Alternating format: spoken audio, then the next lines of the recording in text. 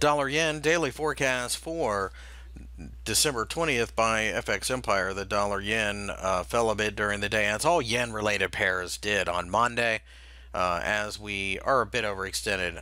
The thing about this market is that I think the 115 level below is massively supportive, and I think it extends all the way down to the 111 level. Any type of supportive candle is a buying opportunity uh, at this point, as we should continue to go much higher. Uh, no interest in selling. Uh, it's just a tired market, and I believe that this could be the beginning of a pullback that we've desperately needed.